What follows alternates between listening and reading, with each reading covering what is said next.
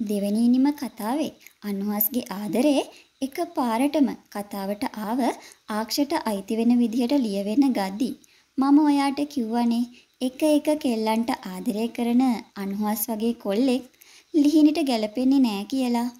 ඒ වගේම ඔයා මගේ වීඩියෝ මුල්ල ඉඳලම බලපු යාළුවෙක් නම් මම ඔයාට කිව්වා මතක ඇති ලිහිණිට සාධාරණයක් වෙන්න නම් එයාට අලුත් ආදරයක් ලැබෙන්න ඕනි කියලා.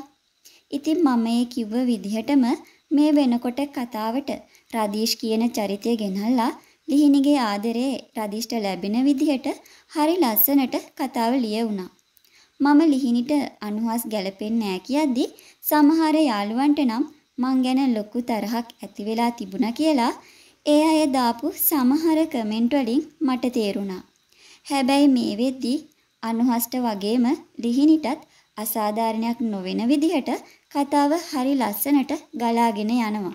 කතාව ඉස්සරහටත් මීටත් වඩා ලස්සනට දකින්න ලැබෙයි. මොකද තාම ලිහිණිගෙයි රදීෂ්ගෙයි ආදරේ පටන් ගත්තා විතරයිනේ. ඉතින් රශ්ලි ආදරය වෙනුවෙන් මාත් එක්ක එකතු වුණ මගේ යාළුවන්ට දැන් නම් එයාලගේ බලාපොරොත්තුව ඉෂ්ට වුණා කියලා ලොකු සතුටක් ඇති වෙලා ඇති කියලා මම හිතනවා. ඒ සතුටත් අපි එකතු වෙලා භුක්ති විඳින ගමන් ඒ ආදර කතාවේ රසවත් තැන් ගැන කතා කරන්න. දිගටම චන්දිත් එක්ක එකතු වෙලා ඉන්න කියලා ආදරෙන් මතක් කරනවා. එහෙමනම් පරිස්සමට ඉන්න මං ඔයාගේ ආදරණීය යෙහෙළිය චන්දි.